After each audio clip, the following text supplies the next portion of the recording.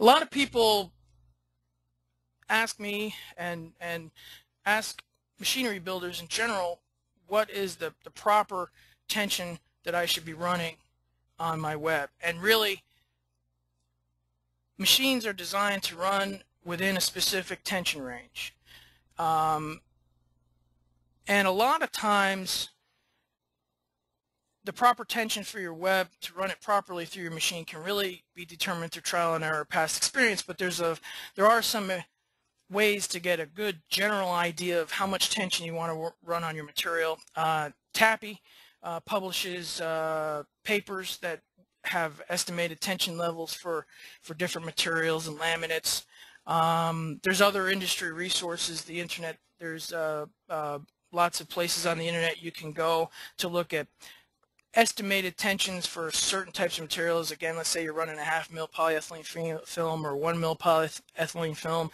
It's low density. If you know that, you can go out and you get a general feel for how much tension, the tension range you should be running on that material. Um, another general rule of thumb is a lot of people know the tensile strength of their material but they don't know what the tension is and a lot of times uh, proper unwinding and rewinding tension is is between 10 to 25 percent of tensile strength and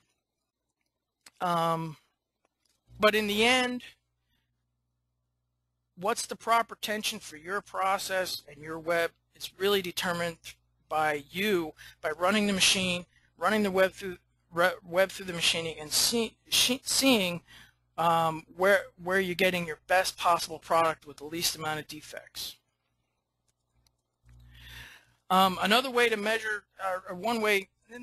to measure tension in an, an existing process is with load cells. Uh, a lot of people do have load cells in their machines, and simply uh, a load cell uses strain gauges, and you have to imagine when you apply um, force to your web in the machine direction, in this direction, it will apply a weight the web itself will apply a weight to this to this roller and these strain gauges will measure how much weight is on this roller and normally load cells can give you a, readout as to how much tension is across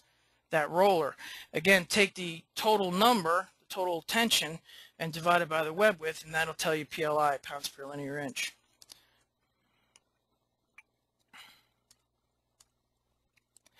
Um, you can also, uh, if you have dancer rolls, um, how much uh, dancer, eh, how much loading you have on that dancer will literally tell you how much weight is on this roller and and your web is, is normally fed through this roller somehow and and and how much weight is on that roller is, is going to be how much tension is on your web. You can calculate how much uh, a dancer is loading your web, if you, but you have to know the, the geometry of a dancer. You have to know where this cylinder is on the lever arm. You have to know how much air pressure is coming into the cylinder. And if, if you know that, if you know, um, again, the geometry and how much air pressure is in this cylinder and, and, and how your web is threaded through this dancer, you can calculate how much tension that dancer is putting on your web a very good way of measuring tension at the unwind is, is what I call the fish scale method. If you have a brake, do not attempt this if there's a motor or uh, if this is a driven unwind or, or something like that. But if you have a, a brake or an air brake, magnetic particle brake out here, um, basically you just have you have to have a way to clamp the edge of your material um, across across its width and then you can hook a fish scale through there and when you pull on this fish scale it's going to give you a number. It's going to give a certain amount of pounds of, of how much it takes to start this roll turning. When this roll starts to turn that's literally the, the tension on your web at that point so that's a it's a good effective it's kind of crude but it is an effective method of, of measuring tension off of an unwind so if you if you want to know how much tension you're running um, that's a, a, good method to do that for, uh, again, off of an unwind with a brake. Um, you can calculate tension um, in an unwind or rewind zone by knowing the if you have a brake or a clutch, if you know the model. Um, we know that uh, if you know the model of the brake or the clutch, then you can very easily know what the torque output is at a, at a given uh, air pressure or voltage. And if you know roll radius of the roll, we know that torque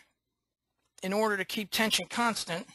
right, we know that torque, the required torque, is the tension times the radius. So uh, algebraically, that means tension equals the torque divided by the radius. So if you know the torque output of the brake, and you know the roll radius, you can just plug those numbers into this equation and that literally will tell you what the tension is across the web. Again, you have to divide the total tension by the web width in order to know PLI or pounds per linear inch.